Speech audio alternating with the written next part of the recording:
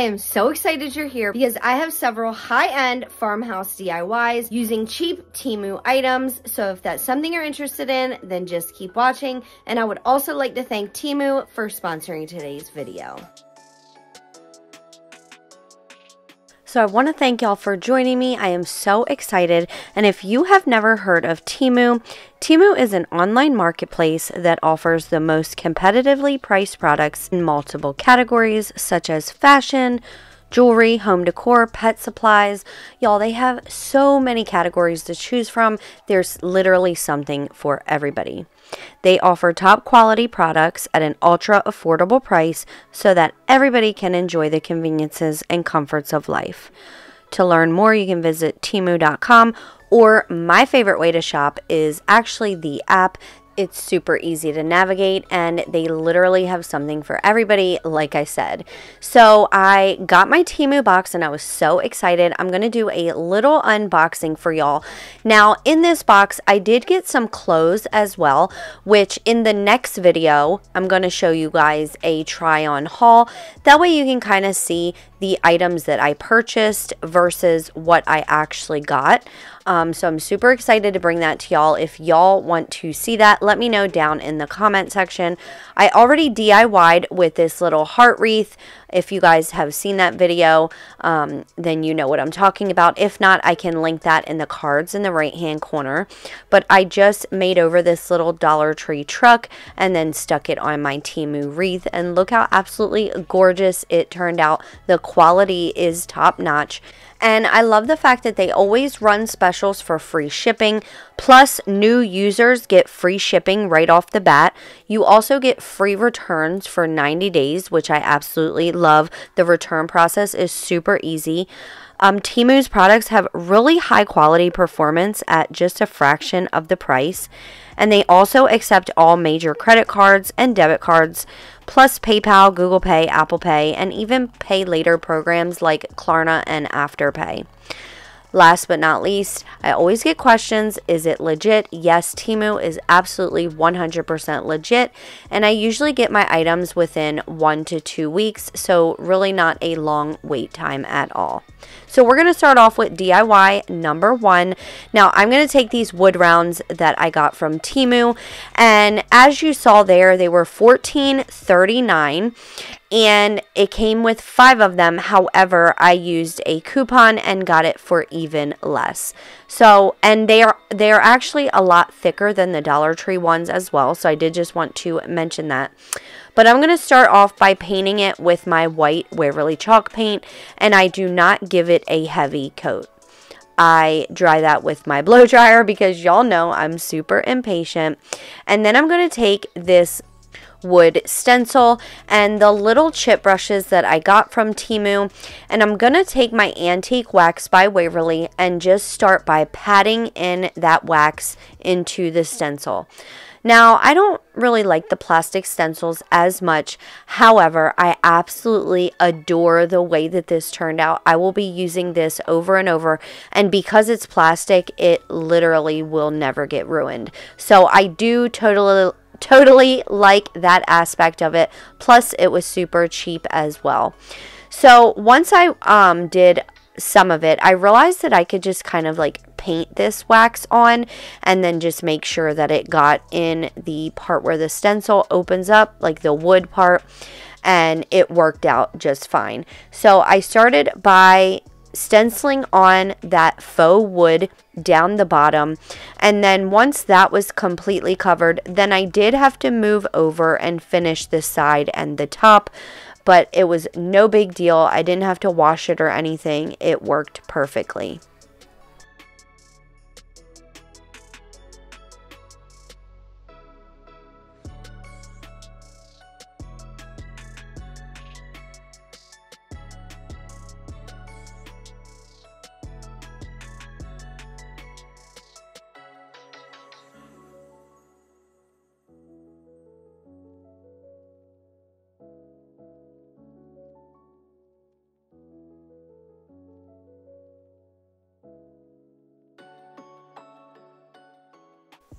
Once my faux wood was stenciled on, then I took this little metal piece. Now, I forgot to hit the record, so I'm going to show you exactly what I did.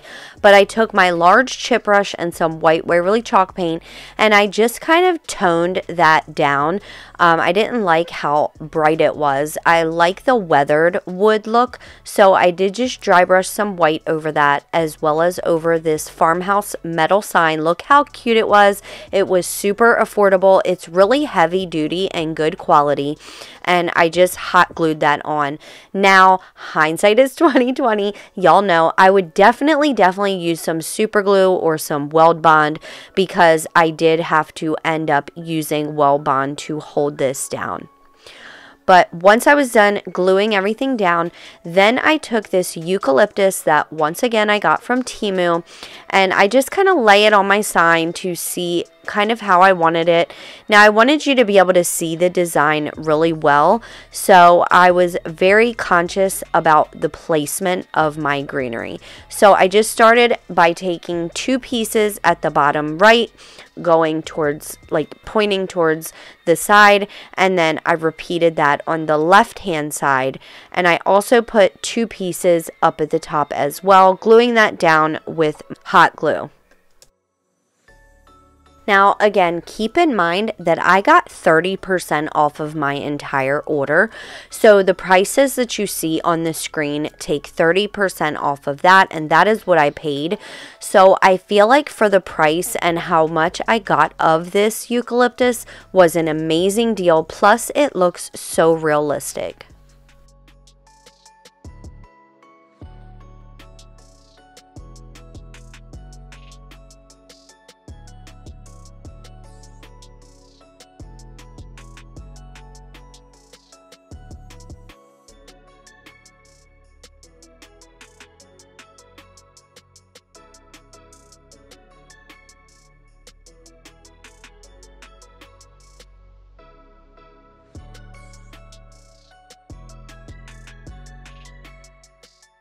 Now, I had a piece of eucalyptus laying around that had those little berries on them, and I thought that it would be super cute at the top.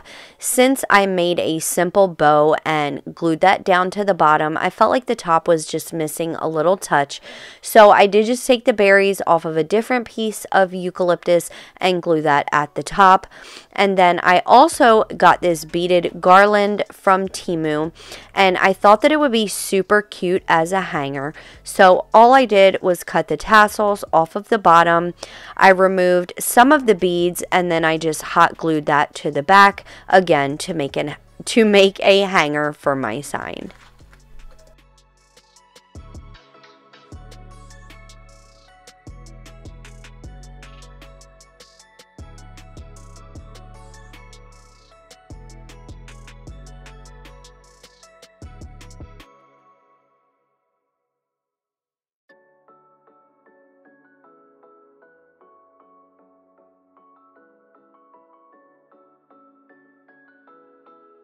And that was it for this project. Look how gorgeous it turned out. If you pick this up at a high-end store, it would be much more than we paid for it. And I will love to display this for years to come. I know y'all will let me know down in the comments what you think. Would you have switched this sign up or do you love it just the way it is?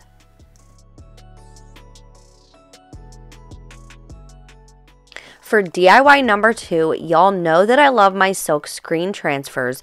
So of course I had to get a farmhouse one and we're going to use another wood round. So I take a wood round and my new farmhouse transfer and I just kind of mark where I need to paint it and then I tape that off with some painter's tape. Once I had the paint the painter's tape nice and smooth. Y'all know I can't talk. Oh my goodness. Once I had the painter's tape nice and smoothed out, then I go ahead and paint the bottom with my white Waverly chalk paint.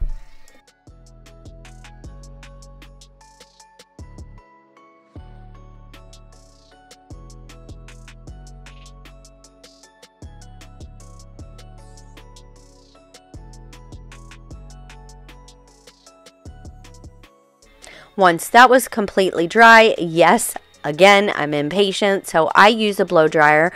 But if you have something to do in between, you could totally let this air dry.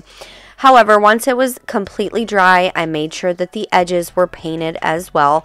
Then I go ahead and remove my painter's tape. Now, my original thought was to paint the top of this black. But once I peeled back that painter's tape, I absolutely love the way that that natural wood looked. So I just kind of toyed around with the placement. At first, I was going to have some of the wording on top of that natural wood. And then I just ultimately decided to transfer it on completely in the white space.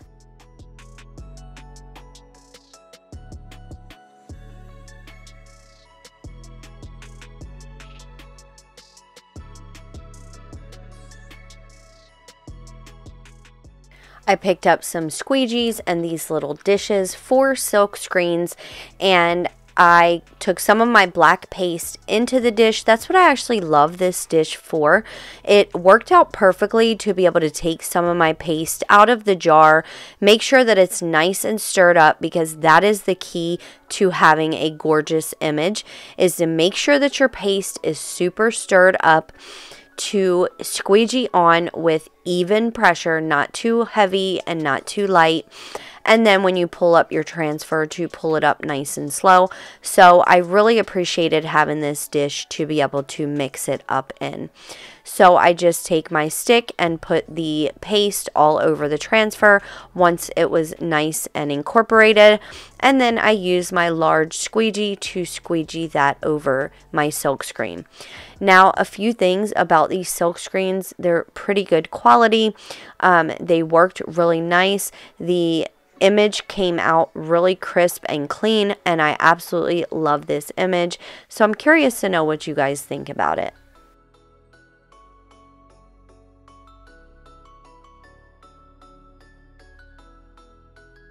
Another pro tip is to make sure that you get all of the excess paste off of your transfer because once you pull it up, if you have anything left behind, it will leave it clumpy and sometimes the image doesn't transfer on correctly.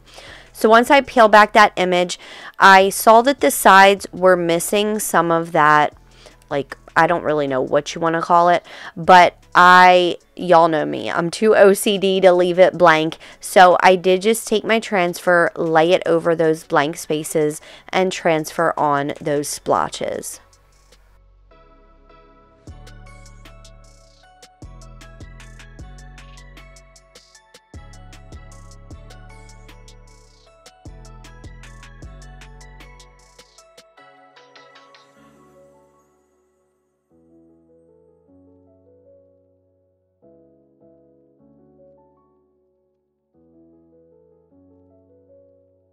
Next, I take this pattern and I lay it up at the top and then I also use painter's tape to tape it off to make sure that I do not transfer any of the pattern onto that white part.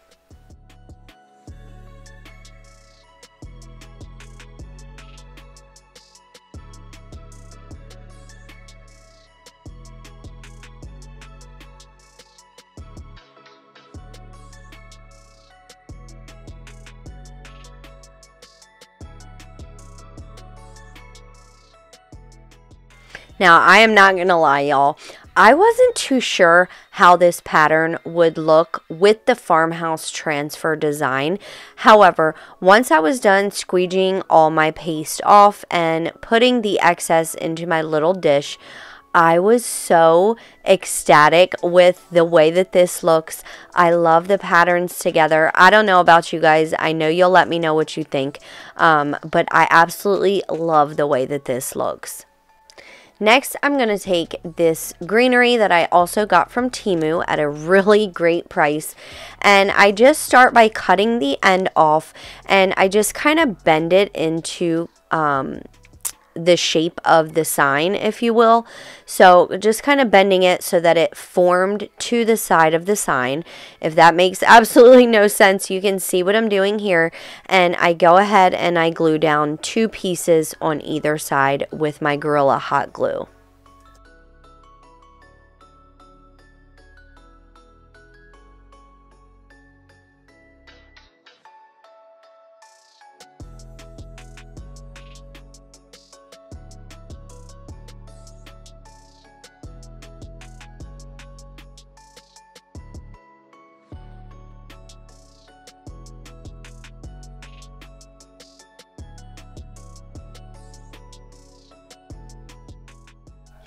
Next, I make a simple bow with my ribbon that I had in my stash.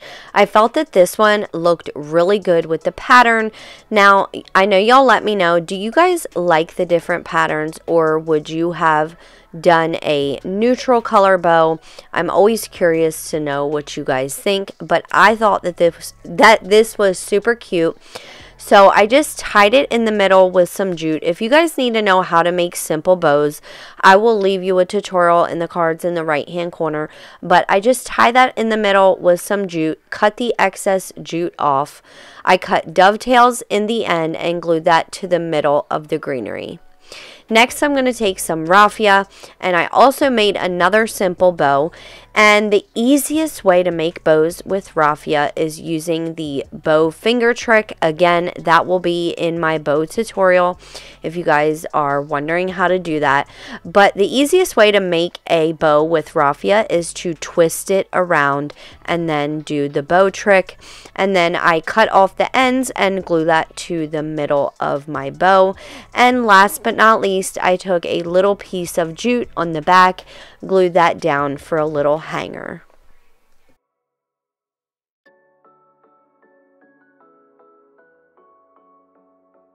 If y'all are super impatient like me and you do not want to wait for the glue to dry, all you have to do is lay a squeegee over top that glue and hold it down for a few seconds and it dries super quick. Plus you get a nice flat application and it just turns out really beautifully.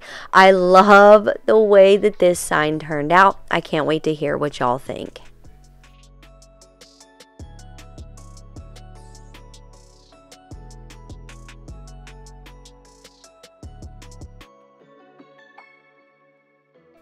For the last and final DIY. I'm going to take this shelf that I got from Temu. Now, it was I was going to use it as a hanging shelf, but then I got this super great idea and I'm going to show you what I came up with. So, I start off by covering the holes with my lightweight spackling, once again drying that with my blow dryer and then sanding that spackling down smooth.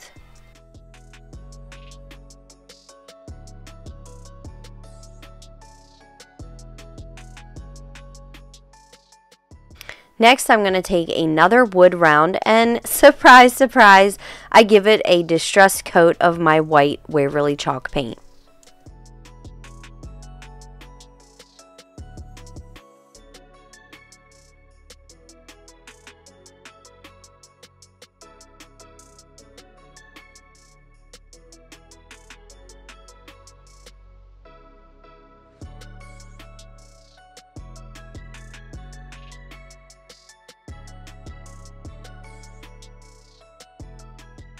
As always, this step is optional. If you do not like dry brushing, you can totally skip this step. But if you guys have been around for any amount of time, then you know that I love my dry brushing. I love that rustic look. So I use my antique wax and a large chip brush that I get from Home Depot. And I just take the excess that's in the cap and I lightly dry brush all the way around my sign. And there's really no rhyme or reason. It's literally until your eyes are happy. So I start off really light handed and then I layer it to get the look that I'm going for. I set that aside and then I give this little shelf a good coat of my antique wax all the way around the edges as well.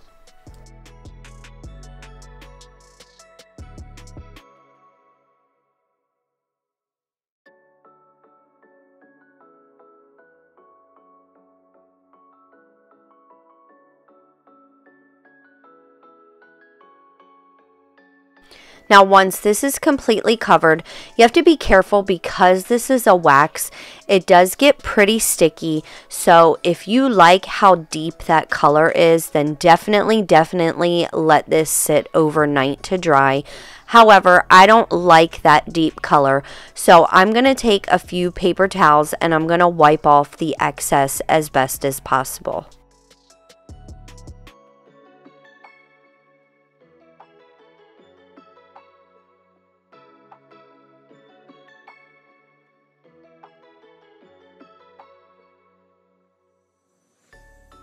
Once that was completely dry, then once again, I used my chip brush to dry brush some white Waverly chalk paint all the way around this shelf, but I'm turning it into a sign. Once again, I start off really light-handed and then I layer my dry brushing to my liking. Once again, if you don't like it, leave it out. I get comments all the time like I don't know why you dry brush everything. It's so ugly blah blah blah. And I understand that it's not everybody's cup of tea but it's my cup of tea. So I'm making home decor for my home sharing it with you guys. If there is a step that you don't like if there's a color you don't like I welcome you to put your own spin on it so once my dry brushing was dry, then I go ahead with that same farmhouse transfer. I mix up my white paste and then I just kind of dab the paste on my transfer. Now, I wish I wouldn't have done this because once I pulled it up, you could kind of see where I dabbed it on, which was no big deal to me because it's rustic decor any anyway. However, if that annoys you, then I would just beware of that and just kind of dip your squeegee in your paste and then squeegee it on that way. But once I had my paste on my transfer, then obviously I went ahead and just transferred on the word farmhouse with the chicken. Now, I did have to be a little bit more careful with these transfers because they are a lot thinner than I'm used to working with. However, they did the job and it turned out absolutely gorgeous. So next I'm going to take this wreath that I got from Temu once again at a crazy great price. Like look at the quality of this wreath and it was 30% off of 648. So I'm not good at math. Don't get me lying to you, but I know that it was a steal. So the reason that I am or I should say the reason that I painted the wood round is to glue it to the back of this wreath and you're going to see why in a minute. But once I had the wood round glued to the back of the wreath, then I went ahead and laid my farmhouse sign on the front and glued that down on either side as well. I also wanted to mention not to forget to download the app, you guys. The Temu app is so fun. They have games, they have all kinds of fun stuff, um, ways to earn all kinds of coupons and trust me when I tell you that that app will have you down a rabbit hole so make sure you have some time because there's so much to look at. But once I made a simple bow and glue that to the bottom of my wreath, then last but not least, y'all, I was going to throw this frame away. I had it for years from a previous project and again, I was about to throw it away. And when I was doing this wreath, I was like, oh my goodness, how beautiful would that wreath with that sign be on this frame? So I went ahead and hot glued that down. And literally, look how gorgeous this turned out. That was it for this project. So simple and easy, plus cheap to make. And I love the end result. So let me know down in the comments which was your favorite project. Don't forget to shop Temu and click the link down in the description box for 30% off or use my promo code MUCH 597. I'll leave it up here on the screen for you. Again, use my promo code MUCH597 for 30% off or use my link down in the description box below. Again, I want to thank Temu for sponsoring today's video. I am so grateful and I can't wait to shop again. As always, for any ketone or chalk info or just to say hi, text my number on the screen. And with that being said, if nobody has told you today, you're absolutely stunning, you're worthy, you're gorgeous, you literally can do anything you set your mind to. And I'll catch y'all in the next one. Look out for that try on haul. And I love y'all so much. Bye. Check out the videos that are popping up here to your left while you're waiting on my next upload, or join the DIY fam here to your right.